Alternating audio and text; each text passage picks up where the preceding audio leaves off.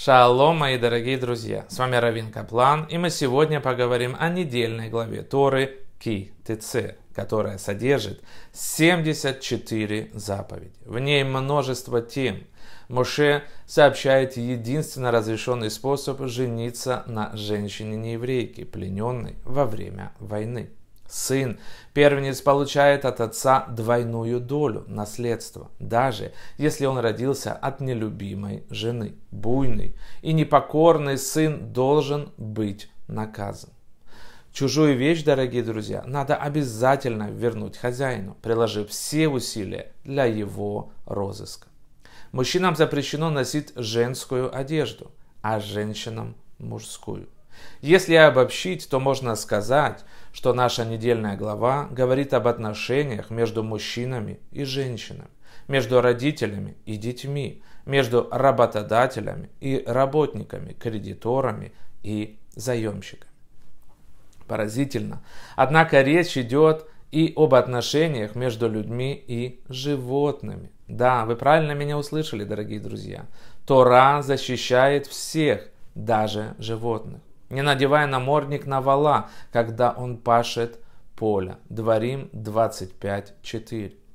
Что интересно, этот закон также параллелен положениям и для людей. Когда ты приходишь на работу, на виноградник соседа, ты можешь съесть сколько винограда, столько нужно для утоления твоего голода. Когда ты приходишь работать на поле зерном твоего соседа, ты можешь набрать колосьев рукой. Дворим 23, 25, 26. Но вернемся к нашей недельной главе, где сказано, когда выйдешь на войну против врагов твоих, и Господь Бог твой передаст их в руки твои, и возьмешь у них пленных. Дворим 21, 10. О чем идет речь, спросите вы меня? О войне, но мы, слава Богу, живем в мире. Давайте попробуем разобраться. Начнем мы с вами с того, что Тора повествует не только о материальном, но и о духовном мире. Что касается войн в нашем мире, в них, как правило, никто не выигрывает. Такова программа природы. Война приносит пользу только в том случае, если ее цель улучшит человеческую природу. В нашей недельной главе и подразумевается война против эгоистической природы человека. Название главы следовало бы расширить, когда выйдешь ты на войну с самим собой. Человеку приходится воевать со своими свойствами, взглядами, мыслями, постоянно обнаруживая, что все его помыслы или большинство – это только о собственном благе.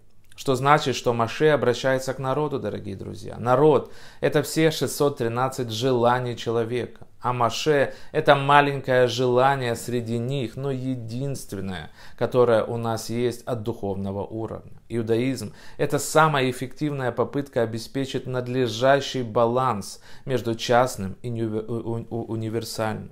Он верит во всеобщую связь между Богом и человечеством. Мы все созданы по образу и подобию Бога. Берешит 1.27. И в особую связь, дитя мое, первенец мой Израиль, мы верим. Он верит во всеобщий завет с Ноахом, и с особым заветом Авраамом, а затем со всем народом. Таким образом, Всевышний верит в универсальность справедливости и особенности любви. Когда дело доходит до отношений между людьми, существует порядок приоритета. Сначала создается справедливость, затем выражается любовь. Ибо если мы позволим изменить эти приоритеты, допустив несправедливость во имя любви, мы разделим и разрушим семьи и группы и будем страдать, не дай Бог, от последствий в течение длительного времени. Кажущийся незначительным, дорогие друзья, закон о наследовании на самом деле является основным утверждением еврейских ценностей. Я верю, что иудаизм поступил правильно, поместив любовь в сердце религиозной жизни, любовь к Богу, к ближнему, к незнакомцу, но в то же время признав, что без справедливости любовь не спасет нас. Тора четко разделяет желания и намерения, дорогие друзья. Желание считается женским началом и называется женщиной намерение, соответственно, мужским началом или мужчиной. Вернемся к тексту Торы. Итак, эм, и также сделай со слом его и с одеждой его и с любой пропажей брата твоего. От всего, что попадет, и ты найдешь обнаружен, не имеешь права отвернуться. Глава 22, 3. Осел на иврите это хамор. Это слово означает материальность, материя. Проявляя заботу о брате, не следует ограничиваться исполнением заповедей мицвод. Важно помочь ему, дорогие друзья, вернуться в то же место, где он сможет жить и поступать правильно.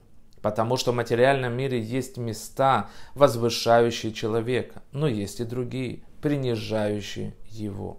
Одежда – внешняя оболочка человека.